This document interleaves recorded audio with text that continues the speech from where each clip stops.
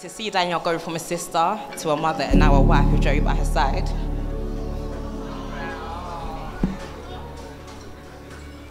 I know Ezra my sister in safe hands. I'm going to miss living with you, but I really wish you a good, fruitful, and prosperous marriage. Congratulations.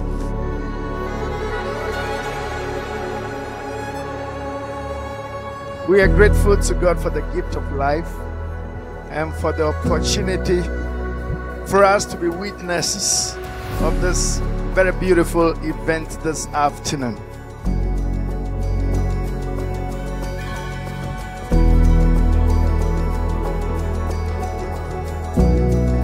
It's a true honor to be a part of this special day in his life as he embarks on this wonderful journey with Danielle. I've known Joseph for as long as I can remember, and I've seen him grow into the amazing person he is today.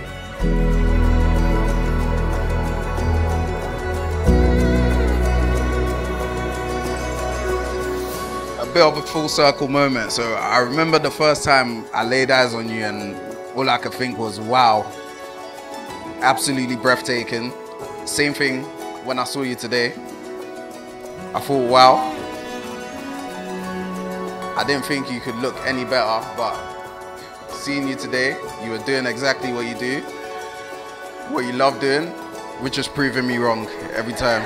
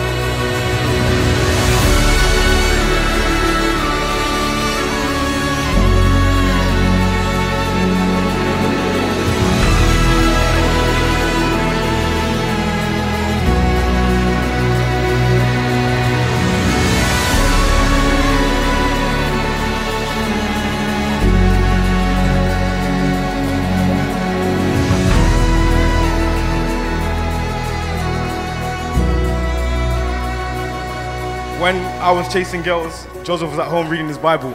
So, so he's a good guy. He's a good guy.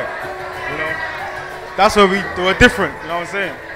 I like the girls. You know what I'm saying? All right. to Joseph and Daniel, as you start this chapter in your lives together, remember to cherish the love and support you have for each other. Keep laughing together, supporting each other's dreams, and facing life challenges as a united front.